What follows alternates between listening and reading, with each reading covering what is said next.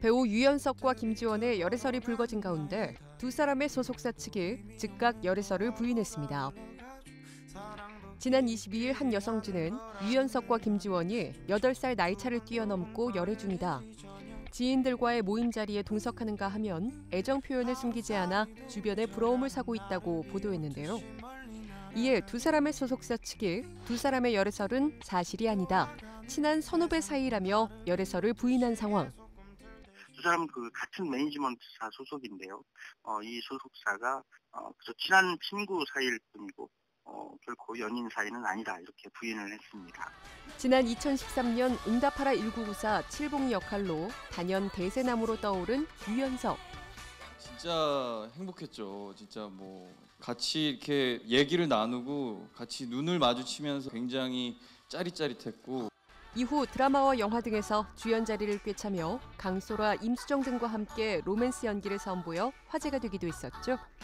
이 실제로 두 캐릭터의 케미가 굉장히 잘 보여지고 있고 또 생각했던 것보다 훨씬 더 호흡이 잘 맞고 너무 재미있고 특히 그의 열애설 상대였던 김지원에 대한 관심 또한 뜨거웠습니다. 예, 김지원 씨는 지난 2010년에 그 그룹 빅뱅과 함께 한 광고에 출연을 하면서 연예계에 데뷔를 했고요. 어, 당시에 그 상당히 좀 그 상큼한 매력을 뿜어내면서 어, 많은 시선을 받았는데 예, 이후에 음료 CF에 등장을 하면서 어, 더큰 화제를 모았습니다. 상큼 발랄한 매력을 발산하며 시선을 모은 김지원. 이후 시트콤 하이킥 짧은 다리의 역습에 이어 드라마 상속자들 그리고 영화 무서운 이야기 탈출 좋은 날 등에도 출연하며 연기력을 쌓아오기도 했는데요. 뭔가 좀 파격적으로 느끼실 수 있었던 거는 아마 저희가 눈썹을 되게 많이 없앴는데요. 소속사 동료이자 선후배로 그저 친한 사이일 뿐이라며 해명한 유연석, 김지원. 아쉽게도 이들의 열애설은 해프닝으로 마무리가 됐습니다.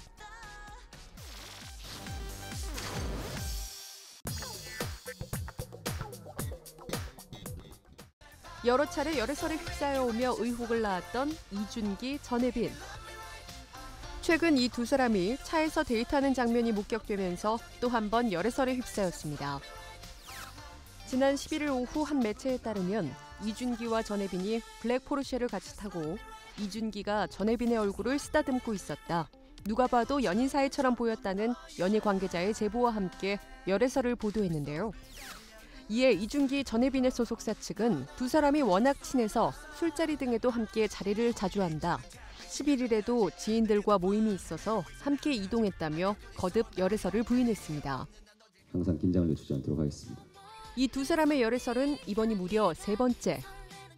지난 6월에는 모 유명 호텔 피트니스 센터에서 운동을 즐기며 애정 표현을 한 목격담을 시작으로 둘 사이의 범상치 않은 관계가 수면 위로 떠오른 데 이어 지난 8월에는 같은 브랜드의 목걸이를 착용한 모습이 포착돼 다시 한번 관계를 의심받기도 했는데요. 지난해 KBS 드라마 조선 총잡이에 함께 출연하며 친해졌다는 이준기, 전혜빈. 그간 불거진 열애설에 대해 소속사 측은 자꾸 열애설이 불거져 유감스럽다고 불편함을 내비치며 논란을 일축해왔습니다.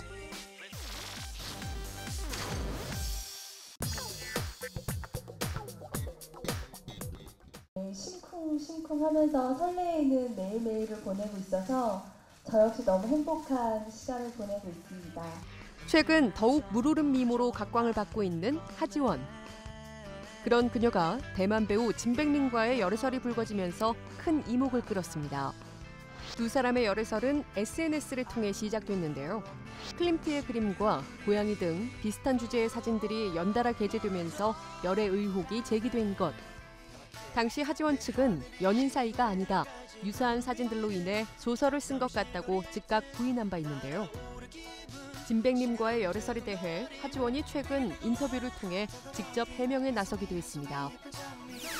하지원은 영화 때문에 처음 만났다. 그때 딱 한 번 만난 후 인스타그램 마파를 하게 됐다.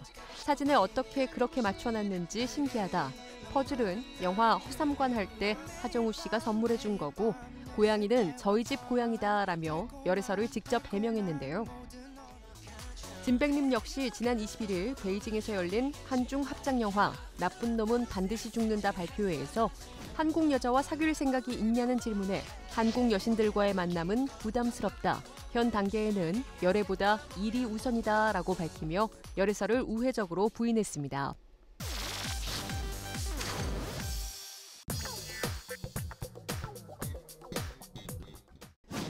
꾸준한 열애설과 함께 공공연한 커플로 알려져 왔던 빅뱅의 지드래곤과 일본 모델 미즈하라 키코. 지난 8월 이들의 결별 소식이 전해졌는데요.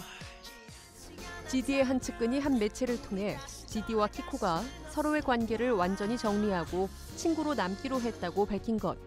또한 과거에도 만남과 결별을 반복했다. 그러나 이제 더 이상 감정을 소모하지 않기로 했다. 다시 만나는 일은 없을 것이라고 재결합 가능성까지 일축하기도 했는데요. 연예계에서 암묵적으로 인정돼 왔던 지디와 키코의 관계. 두 사람은 지난 2010년부터 꾸준히 열애설에 휘말려 왔습니다. 2012년 크리스마스에는 푸켓 동반 여행설에 휘말리기도 했고 지난해 8월 지드래곤은 자신의 비공개 SNS 계정에 Ice Bucket Challenge의 다음 타자로 my dear 키코를 지목하기도 했었죠.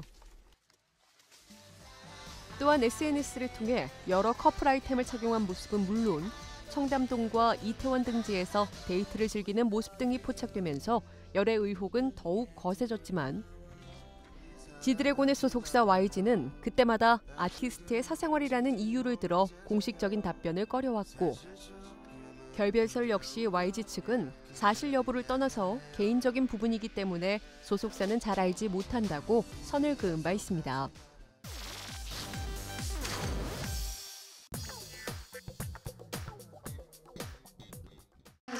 도전이에요.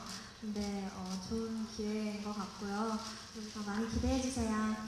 지난해 소녀시대를 탈퇴, 액세서리 디자이너로서의 제2의 인생을 시작한 제시카.